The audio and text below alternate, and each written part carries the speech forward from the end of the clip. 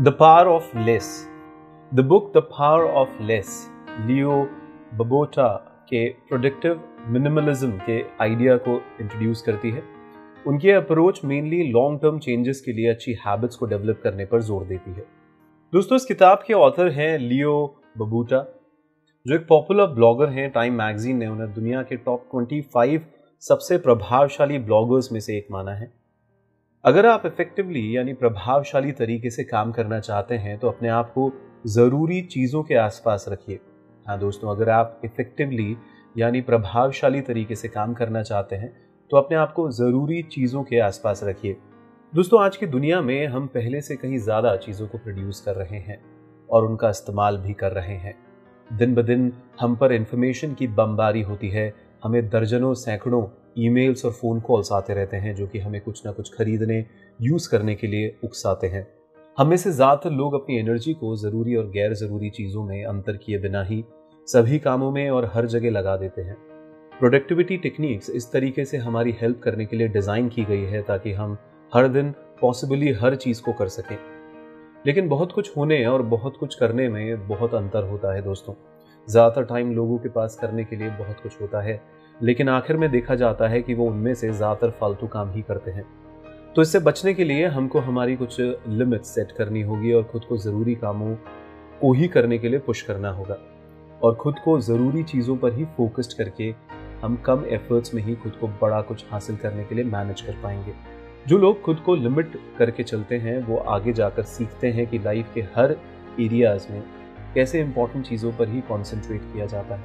दिन में कुछ ही कम चीज़ों पर फोकस करके ज़रूरी बातों और कामों को अच्छे से किया जा सकता है। दिन में ट्वेंटी प्रोजेक्ट्स पर काम करने के बजाय, कुछ ही इंपॉर्टेंट प्रोजेक्ट्स पर अपने फोकस को लिमिटेड करने से हम उन कुछ ज़रूरी चीज़ों को जल्दी और सक्सेसफुल कर पाएँगे दोस्तों। तो खुद को उन इंपॉर्टेंट कामों में पुश करके हमें आगे बढ़ते रहने में हेल्प ही होगी। अपनी प्रायोरिटीज़ को जिए, अपने डिसीजंस के प्रति क्लियर रहिए। हाँ दोस्तों, अपनी प्रायोरिटीज़ को जिए और अपने डिसीजंस के प्रति क्लियर रहिए। आइए इस पॉइंट को डिटेल में कुछ एग्जाम्पल्स के साथ समझते हैं। रिस्ट्रिक्शंस यानी दायरों के बिना जीना ठीक वैसा ही है जैसे कि क्रेडिट लिमिट के बिना शॉपिंग करना। क्योंकि लास्ट में हम तो सिर्फ़ एक ही चीज़ पर फोकस करना होता है और वो होता है बजट खुद को लिमिट में रखना हमें अपनी एनर्जी को लाइफ में सिर्फ़ और सिर्फ़ इंपॉर्टेंट चीज़ों पर ही बनाए रखता है। दूसरे शब्दों में कहें तो हम फालतू की और बेफिजूल की बातों पर अपना वक्त और एनर्जी करने से बच सकते हैं। या मतलब ये नहीं है दोस्तों कि हम खुद को बाँध लें इसकी बजाय सिर्फ़ हमें खुद के लिए कुछ लिमिटेशन सेट करनी है, ताकि हम हमारे फ्री टाइम को इम्पोर्टेंट चीज़ों पर ही लगा सकें और फालतू के कामों से बच सकें। फालतू के प्रोजेक्ट से अपना ध्यान हटाकर अपना फ्री टाइम हम अपनों के साथ बिताएँ। तो उदाहरण के लिए अगर आपकी फैमिली आपकी टॉप प्रायोरिटी है तो आपको बेफिजूल की बातों पर और कामों पर अपना वक्त बर्बाद ना करके अपने बच्चों के साथ वो टाइम बिताना चाहिए। इसका यह भी मतलब है कि हमको यह भी पक्का करना होगा कि लोग यह समझें कि हमारा टाइम लिमिटेड है और हमारी प्रायोरिटीज़ बहुत ही क्लियर है। इस तरह से हमारे आसपास के लोग भी हमें तवज्जो दे पाएँगे और हमारा टाइम बर्बाद नहीं करेंगे। जो लोग दूसरों को ना बोलना सीख जाते हैं, वो असल में उनको इग्नोर नहीं करते हैं, ये आप समझिएगा। बल्कि वे अपने आसपास के लोगों से रिस्पेक्ट पाते हैं, क्योंकि वे ये जान जाते हैं कि हम फालतू की बातें नहीं करते हैं और हर छोटी छोटी बातों पर गपशप करना हमें फालतू लगता है। तो ऐसे हम प्रायोरिटी देना सीख जाते हैं दोस्तों, ना कहिए और लोगों को ना कहिए दोस्तों, ना कहने की आदत डालिए और लोगों को साफ़ साफ़ अपनी प्रायोरिटीज़ के बारे में बता दीजिए। अगर आप अपनी लाइफ को चेंज करना चाहते हैं तो अपनी हैबिट्स को बदलिए। हाँ दोस्तों, अगर आप अपनी लाइफ को चेंज करना चाहते हैं तो अपनी हैबिट्स को बदलिए। आइए इस पॉइंट को डिटेल में समझते हैं। अगर आप खुद में एक ज़बरदस्त बदलाव लाना चाहते हैं तो आपको नई हैबिट्स को बनाना होगा और डेवलप करना सीखना होगा। और यह तभी संभव है जब आप अपने वर्क को एक ही टाइम पर, एक ही जगह पर लिमिट ना करें अगर आप डेली एक नई हैबिट बनाने का फोकस रखते हैं तो वह आपका सेकेंड नेचर बन जाएगा दोस्तों। आपका मोटिवेशन दूर नहीं हो जाए। इसे पक्का करने के लिए आपको अपने प्लान्स को, दूसरों को बताना होगा। आइडली आपको किसी ऐसे पर्सन के साथ अपने प्लान्स को शेयर करना चाहिए, जो खुद भी नई हैबिट्स बनाने को क्रेजी हो, ताकि आप एक दूसरे को अपने अपने प्लान्स के लिए मोटिवेट कर सकें। जब आपका अपना एक ग्रुप बन जाता है, यानी एक ऑडियंस जो आपके एक्शंस पर नज़र रखे, उसको ट्रैक करें तो आपके अपने प्लान्स और गोल से जल्द ही भटकने के चांसेस बहुत ही कम होते हैं। और अगर आप खुद को डेली अपनी प्रोग्रेस को लिखने के लिए पुश करते हैं तो शायद आपकी नई हैबिट दिन ब दिन निखरती जाती है दोस्तों। ऐसा करते वक्त आप अपने लिए हासिल किए जा सकने वाले गोल्स को सेट कीजिए। लेकिन गोल्स को इतना सिंपल रखिए ताकि आप उनको इजीली हासिल कर पाए। ऐसा करने से आप अपने गोल्स के प्रति डीमोटिवेट नहीं हो पाएँगे। हैबिट्स जो लोगों की लाइफ में पॉजिटिव चेंज लाती है, उन्हें कुछ इस तरीके से होना चाहिए दोस्तों। आइए इसको समझते हैं। अपनी हैबिट्स को धीरे धीरे लेकिन पक्के तौर से तैयार करिए। हाँ दोस्तों, अपनी हैबिट्स को धीरे धीरे लेकिन पक्के तौर से तैयार करिए। आइए इसको समझते हैं। हम में से बहुत से लोग छोटी शुरुआत करने की बजाय पहले ही दिन से अपने से बड़ा, अपने में बड़ा बदलाव लाना चाहते हैं। इसका रिज़ल्ट यह होता है कि हम इसमें नाकाम हो जाते हैं और फ्रस्ट्रेटेड हो जाते हैं। इसी वजह से एक पॉजिटिव चेंज के लिए आपका हर एक प्लान फेल होता चला जाता है। लेकिन यह इस तरीके से नहीं होना चाहिए दोस्तों। हैबिट्स को क्रिएट करने के लिए कंसिस्टेंसी यानी रेगुलरिटी होनी चाहिए। और आप छोटी छोटी शुरुआत करके और धीरे धीरे अपने गोल्स की तरफ़ बढ़कर कंसिस्टेंसी को हासिल कर सकते हैं। अगर आप एक नई हैबिट को पाना चाहते हैं तो जितनी छोटी आप शुरुआत करेंगे, उतना ही आपके सक्सेस होने के चांसेस ज़्यादा होंगे। क्योंकि जैसे कि पहले बताया जा चुका है कि फेल होने के ज़्यादा चांसेस होते हैं तो हम ज़्यादा डीमोटिवेट होते हैं और यही चीज़ हमें हमारे प्लान से दूर कर देती है और लक्ष्य से हमें भटका देती है। अगर आप एक ही वक्त पर, एक ही हैबिट बनाने पर फोकस करते हैं तो सक्सेस होने के चांसेस बहुत ज़्यादा होते हैं। और आप थक कर हार ना जाएँ, इसके लिए ज़रूरी है कि छोटी छोटी स्टेप्स में आप काम करिए। अगर आप एक नई हैबिट बनाना चाह रहे हैं, जैसे कि मान लीजिए कि आप डेली एक्सरसाइज करना चाहते हैं तो शुरुआत में हर दिन फाइव मिनट्स एक्सरसाइज करने से स्टार्ट कर सकते हैं। जिसमें कोई बुराई या शर्म वाली बात नहीं है दोस्तों। आफ्टर ऑल ये फाइव मिनट्स का काम तो आप ज़रूर ही कर सकेंगे। आप इसमें हारेंगे नहीं। तो इस टेक्निक का यूज़ करके आप छोटे छोटे मूवमेंट्स को एक्सपीरियंस करके, लगातार प्रोग्रेस करके एक दिन सक्सेस ज़रूर हासिल कर पाएँगे। हैबिट्स किसी भी चेंज के सेंटर पॉइंट में होती है दोस्तों, और कंसिस्टेंसी किसी भी नई हैबिट को क्रिएट करने का सीक्रेट होती है। हाँ इसको समझिएगा दोस्तों। एक वक्त पर एक ही सक्सेस पर फोकस करें। गोल्स सब गोल्स प्रोजेक्ट्स और टास्क के बारे में सोचिए। हाँ दोस्तों, एक वक्त पर एक ही सक्सेस पर फोकस करें। गोल्स सब गोल्स प्रोजेक्ट्स और टास्क के बारे में सोचिए। आइए इस पॉइंट को डिटेल में समझते हैं। गोल्स को सेट करना इजी है, जबकि उनको हासिल करना उतना ही हार्ड है। हमें इसके लिए एनर्जी फोकस और मोटिवेशन चाहिए, जो कि हमारे पास पहले से ही लिमिटेड है। तो इसलिए हमें ज़्यादा हासिल करने के लिए एक ही वक्त पर, एक ही गोल पर अपनी एनर्जी को फोकस करना होगा मान लीजिए कि आपका कोई गोल है जो सिक्स से ट्वेल्व मंथ्स में हासिल किया जा सकता है तो उस एक पर्टिकुलर गोल पर अपनी एनर्जी को लगाना समझदारी होगी। तो आपके मेन गोल को हासिल करने का एक ईजी स्टेप ये भी होता है कि आप उस एक मेन गोल को कई छोटे छोटे सब गोल्स में डिवाइड कर सकते हैं, जिन्हें कि कम टाइम में हासिल किया जा सकता है। उदाहरण के लिए, जिससे कि आप एक वीक में उस चीज़ को अचीव कर सकें। तो इस तरीके से उन सब गोल्स को एक एक वीक में हासिल करके आप अपने मेन गोल को हासिल करने के बहुत करीब आ सकेंगे। फिर अपने एक्चुअल वर्क से रिलेटेड अपने प्रोजेक्ट को तय कर लीजिए दोस्तों। आप किसी प्रोजेक्ट के एंड में क्या हासिल करेंगे, इसका एक सॉलिड स्टेटस डिफाइन कर लीजिए। तो स्टेटस को हासिल करने की राह में कुछ ऐसे छोटे छोटे गोल्स को डिफाइन करिए जो इजीली हासिल हो सके। आइडली ऐसे छोटे छोटे टास्क जो 30 मिनट्स में हासिल हो सके। आप अपने प्रोजेक्ट्स को गारंटी के साथ फिनिश कर सकें। उसके लिए आपको एक ही वक्त में बहुत से काम नहीं करने चाहिए दोस्तों। एक ही साथ तीन प्रोजेक्ट से ज़्यादा अपने हाथ में ना लीजिए और जब तक ये तीन प्रोजेक्ट ख़त्म ना हो जाए, तब तक कोई भी नया प्रोजेक्ट अपने हाथ में मत लीजिए दोस्तों।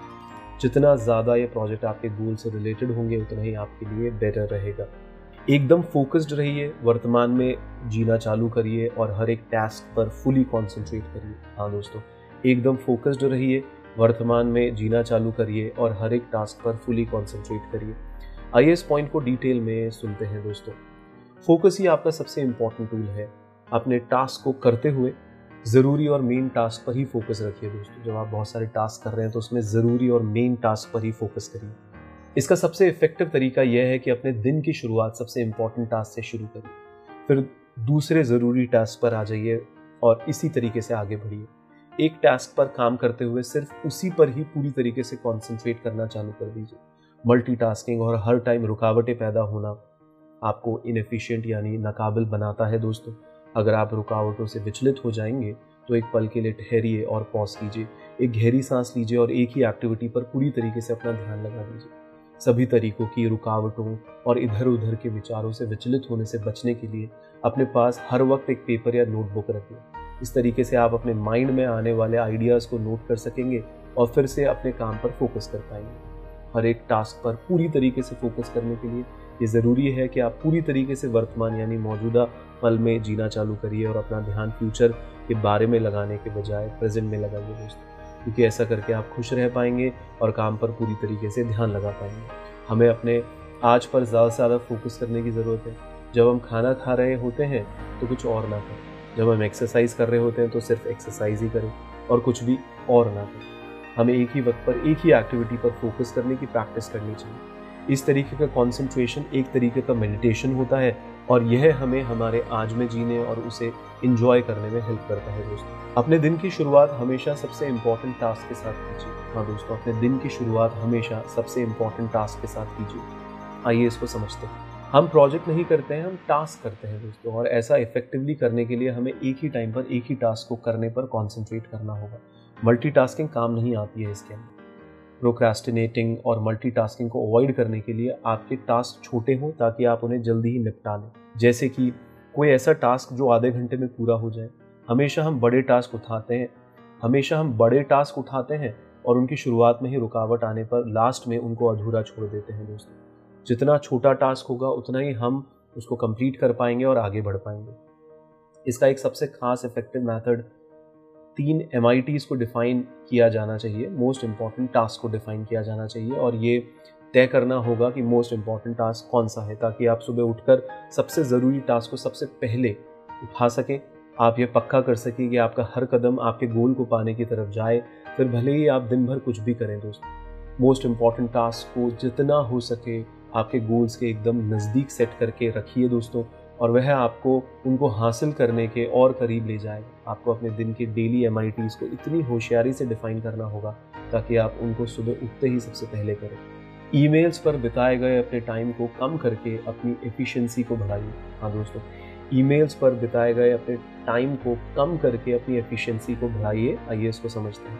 जैसे कि बहुत से लोगों के साथ होता है आप भी शायद अपना काफ़ी वक्त ईमेल्स पढ़ने और लिखने में बिताते होंगे दोस्त। लेकिन इसका आपके गोल्स को हासिल करने से कोई लेना देना नहीं है, ना ही ये उसमें कोई आपको हेल्प करता होगा। कहने का मतलब यह होता है कि आप ईमेल्स पर बिताए गए अपने टाइम को मिनिमाइज कीजिए दोस्तों। किसी भी एक प्रोग्राम के तहत आप अपने सभी ईमेल एड्रेसेस के इनबॉक्स को रिड्यूस करना शुरू कर दीजिए, और फिर जैसे ही आप इनबॉक्स को रीड कर लें, उसे खाली करते चले जाइए। यहाँ आगे कुछ ऐसी ही टिप्स दी गई हैं जो कि आपको ईमेल्स को चेक करने में, टाइम वेस्ट करने से बचाने में हेल्प कर सकती है। अपने लिए कुछ बाउंड्री सेट कीजिए। जैसे कि आप दिन में सिर्फ़ दो वक्त ही अपना ईमेल चेक करिए। जब भी आप कोई प्रोडक्टिव काम कर रहे हो, उस दौरान ईमेल को नहीं पढ़िए। इसकी बजाय अपने फ्री टाइम या लंच टाइम में उनको रीड करिए दोस्तों। सभी नोटिफिकेशंस को ऑफ़ कर दीजिए और सिर्फ़ जब आप इनबॉक्स देखना चाहें, उसी वक्त उसको देखिए। अपनी प्रायोरिटीज़ को सेट करिए, ना कि सेंडर की प्रायोरिटीज़ को। सेटिंग्स में जाकर फ़ौरन बेवजह के और मीनिंगलेस इनकमिंग ईमेल्स के फ्लो को कम कीजिए, जैसे कि फॉरवर्ड किए गए और जो कि ईमेल्स फिल्टर्स को सेट करके कुछ खास ही सेंडर्स के ईमेल को चुनिए। एक ऐसा फोल्डर सेटअप करिए, जिसमें आप गैर ज़रूरी चीज़ों को रख सकें, ताकि उनको वीक के लास्ट में पढ़ा जा सके या सेंड किया जा सके। एक और ख़ास बात यह है दोस्तों कि अपने इनबॉक्स को टू डू लिस्ट की तरह इस्तेमाल मत करिए। एक बार जब आप ईमेल को रीड कर लें, तब उसे इनबॉक्स से डिलीट कर दें। अगर वो एक टास्क है तो उसको फ़ौरन कर दें या फिर एक अलग से टू डू लिस्ट में इसको सेव कर लें। शॉर्ट ईमेल्स लिखना भी उतना ही ज़रूरी है। आपके मैसेजेस के लिए यूजुअली तीन सेंटेंसेस ही काफ़ी हैं और उनको शॉर्ट रख के आप अपने वक्त को भी बचा सकते हैं। तो दोस्तों, आशा करते हैं कि आपको ये किताब पसंद आई होगी। तो अंत में हम कुछ मेन पॉइंट्स आपके सामने रिपीट करते हैं। पहला, खुद को लिमिट्स में रखना हमें अपनी एनर्जी को लाइफ में सिर्फ़ और सिर्फ़ इंपॉर्टेंट चीज़ों पर ही बनाए रखता है। दूसरे शब्दों में कहें तो हम फालतू की और बेफिजूल की बातों पर अपना वक्त और एनर्जी वेस्ट करने से बच सकते हैं। दूसरा पॉइंट अगर आप अपनी लाइफ को चेंज करना चाहते हैं तो अपनी हैबिट्स को बदलिए दोस्तों। साथ ही गोल्स को इतना सिंपल रखिए ताकि आप उनको ईजीली कर पाएँ। ऐसा करने से आप अपने गोल्स के प्रति डीमोटिवेट नहीं हो पाएँगे। तीसरा पॉइंट हमें अपने आज पर ज़्यादा से ज़्यादा फोकस करने की ज़रूरत होती है। हर एक टास्क पर पूरी तरीके से फोकस करने के लिए ये ज़रूरी है कि आप पूरी तरीके से वर्तमान यानी मौजूदा पल में जिए और अपना ध्यान फ्यूचर के बारे में लगाने के बजाय प्रेजेंट में लगाएँ दोस्तों। क्योंकि ऐसा करके आप खुश रह पाएँगे और काम पर पूरी तरीके से ध्यान लगा पाएँगे दोस्तों। ईमेल के सभी नोटिफिकेशन को ऑफ़ कर दीजिए। और सिर्फ़ जब आप इनबॉक्स देखना चाहते हैं, उसी वक्त इसको करिए। शॉर्ट ईमेल्स लिखना भी उतना ही ज़रूरी है। आपके मैसेज के लिए यूजुअली तीन सेंटेंसेज ही काफ़ी हैं और उनको शॉर्ट रख के आप अपने वक्त को बचा सकते हैं। तो दोस्तों, अंत में मैं आपसे यही कहूँगा कि लेस इज़ मोर यानी कम करना ही ज़्यादा हासिल करना है। ज़रूरी चीज़ों पर ही फोकस करके हम कम एफर्ट्स में ही अपने गोल्स को हासिल कर सकते हैं और एक ज़िंदा दिल, खुशहाल लाइफ के लिए खुद को मनचाही फ्लेक्सिबिलिटी दे सकते हैं। धन्यवाद। आप इस किताब को खरीदना चाहते हैं तो इस वीडियो के डिस्क्रिप्शन में दिए गए लिंक पर क्लिक करके आप इस बुक को खरीद सकते हैं। दोस्तों, हम हमेशा से चाहते हैं कि आप अपना बेस्ट वर्जन बने और सफलता और खुशी अपनी ज़िंदगी में दोनों हासिल करें। अधिक से अधिक लोगों की ज़िंदगी में आप अपने टैलेंट से पॉजिटिव चेंज लाने में उनकी मदद करें। इसी एफर्ट के चलते उड़ान एनजीओ चैनल पर हम दुनिया की सर्वश्रेष्ठ किताबों की समरी सरल और आसान भाषा में डाल रहे हैं, दोस्तों। हमारी अधिक से अधिक समरी सुने और उन्हें अपने जीवन में लगाएँ, अपना फीडबैक कमेंट बॉक्स में डालते रहें। और अगर आपको हमारी कोई भी समरी पसंद आती है तो उसे अपने जानकारों के साथ अवश्य शेयर करें। दोस्तों, आप हमारी समरीज को किताबी कीड़े ऐप पर भी सुन सकते हैं। दोस्तों, हो सकता है कि आप अपने जीवन में काफ़ी सफल हों, या सफल बनने के लिए भरपूर प्रयास कर रहे हों। मगर कुछ अनजाने कारणों से आप अपने और अपने गोल्स के बीच कुछ चैलेंज महसूस कर रहे हैं, कुछ ब्लॉक्स महसूस कर रहे हैं। तो मैं आदि गुरुदास, आपकी इसमें पर्सनली मदद कर सकता हूँ, दोस्तों one on one coaching session लेके। तो दोस्तों, यदि आप अपने लिए पर्सनल कोचिंग सेशन बुक करवाना चाहते हैं या मुझसे एग्जैगरेव कोचिंग लेना चाहते हैं, अपनी ऑर्गेनाइजेशन के लिए कोई कोचिंग सेशन लेना चाहते हैं तो आप मुझसे संपर्क कर सकते हैं। आप मुझे nine eight two nine six double four seven double four या nine zero two four zero two triple three one पर संपर्क कर सकते हैं। आप हमें इन नंबर्स पर व्हाट्सएप भी कर सकते हैं दोस्तों। हमारे काउंसलर्स आपसे संपर्क करेंगे। धन्यवाद।